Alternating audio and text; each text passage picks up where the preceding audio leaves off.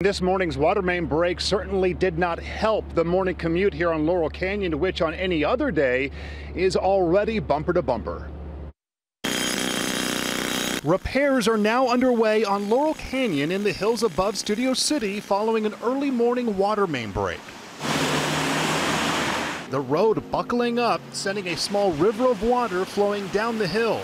It was powerful enough that Annie Little lost her mailbox. I'm assuming the water took it swiftly down the road. I don't know. LA DWP crews were able to stop the flow of water just after 9 a.m., three hours after the break.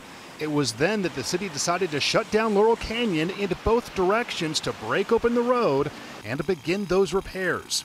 DWP staff told me they'll be here all day. The extensive work creating possible issues for afternoon commuters as well. Hopefully they're finding some shortcuts. I don't know. I mean, every once in a while the street gets closed and people have to make their way around the canyon. So, you know, it's kind of a nice break.